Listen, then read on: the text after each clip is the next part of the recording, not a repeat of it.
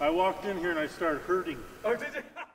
Bruce Coldren and Ron Lee played for the Ducks back in the 70s. People say, what is my favorite highlight is when Knucklehead right here ended up scoring like 31 points. It, it was just a fantastic game for him. In February of 1974, the Ducks were coming off a loss to the USC Trojans the night before playing the number one ranked UCLA Bruins. The Bruins had just lost a game of their own to the Oregon State Beavers the night before, ending what had been a 55 game conference winning streak.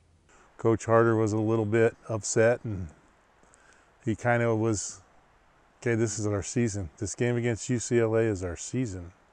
And the fans agreed. But our locker room was a small locker room, you know, and then we're underneath the floor so you can hear the people stomping. And I mean, as an athlete, just hearing that, okay, it's like, okay, you're getting psyched up.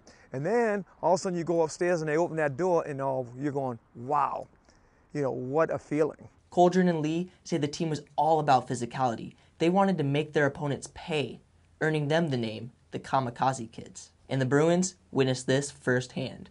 Lee says players would sacrifice their body to get possession of a loose ball in any situation. Okay, if we beat them, what do we have to lose? Okay, they more they got more pressure than we do because they have something to sustain with the number one. You know, if we beat them, okay, hey, yeah. This weekend would be coined the lost weekend for the Bruins, that is, as Oregon defeated them by five points.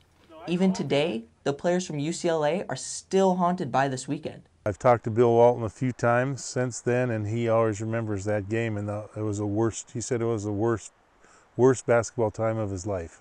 While the Bruins might painfully remember this lost weekend, it is one for the Oregon history books, one that Bruce Coldren and Ron Lee say they will always remember.